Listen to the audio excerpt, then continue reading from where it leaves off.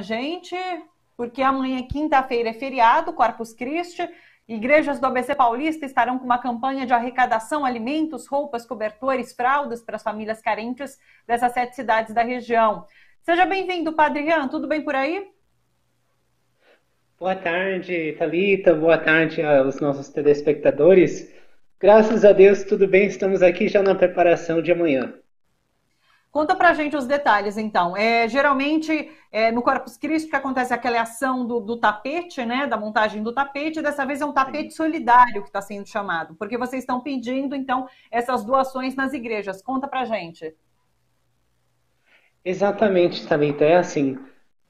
Todo ano a igreja celebra essa festa de Corpus Christi, que na fé cristã enxerga na doação de Jesus Cristo aos seus discípulos, mas na realidade a toda a humanidade, várias dimensões: a dimensão da comunhão, a dimensão da solidariedade, da partilha.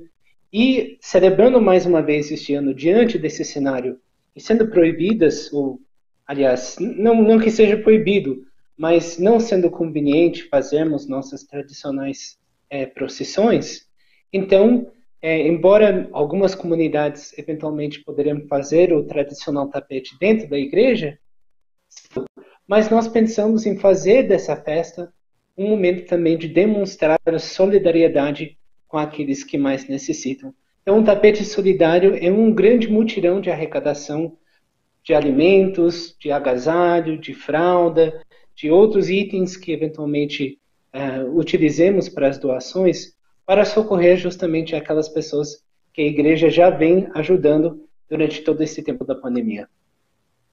É um momento que pede essa solidariedade, inclusive, por conta do que passamos aqui no país, né? Um alto índice de desemprego, a própria pandemia que tem piorado a vida de muita gente. Então, é um momento que pede essa caridade, então é importante que as pessoas contribuam. Sim, eh, nossas comunidades estão presentes de uma forma bastante capilar na região do Grande ABC.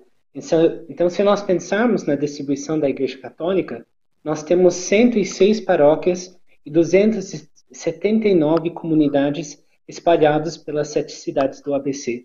Isso faz com que a gente sinta de maneira bastante é, forte, bastante presente, aquilo que todo assistimos em toda, todo o nosso país, e especialmente aqui no ABC. O desemprego, a vulnerabilidade social, aquelas pessoas que já estavam numa situação desfavorecida estão em situações ainda mais dramáticas. Então tem sido um momento de grande desafio até para nós encontrarmos formas de realizar essa, essa, esse trabalho caritativo. Eu aproveito o ensejo só para dizer brevemente o que, que a igreja vem fazendo nesses últimos tempos. Nós olhamos três grupos principalmente, é, fora os outros trabalhos que a igreja realiza. O primeiro grupo é nossos irmãos e irmãs de rua.